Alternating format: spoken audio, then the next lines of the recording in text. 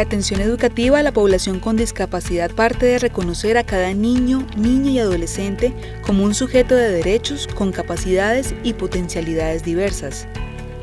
El reto del sector educativo está en generar las condiciones institucionales, familiares y pedagógicas que se requieren para garantizar el desarrollo de cada niño y adolescente en entornos incluyentes.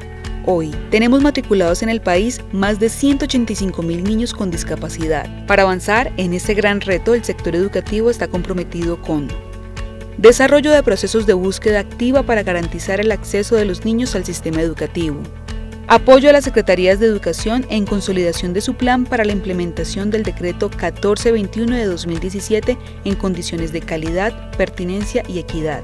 Fortalecimiento de las capacidades de las entidades territoriales y de los establecimientos educativos del país y el empoderamiento de las familias.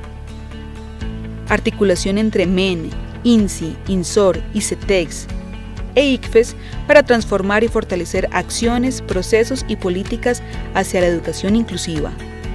Desarrollo de pruebas Saber 11 pertinentes con apoyos en su aplicación para estudiantes con discapacidad.